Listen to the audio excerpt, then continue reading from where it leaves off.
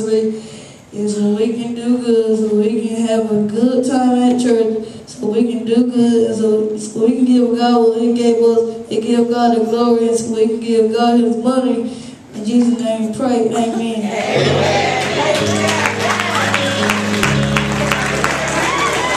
You may be